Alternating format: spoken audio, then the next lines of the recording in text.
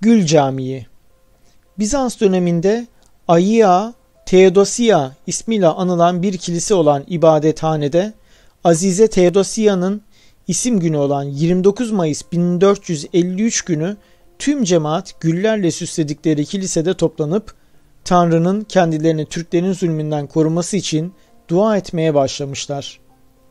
Osmanlı askerleri surları aşıp da kiliseye girdiklerinde ise kilisenin dört bir yanında bulunan binlerce gülden başka hiçbir şey bulamamışlar.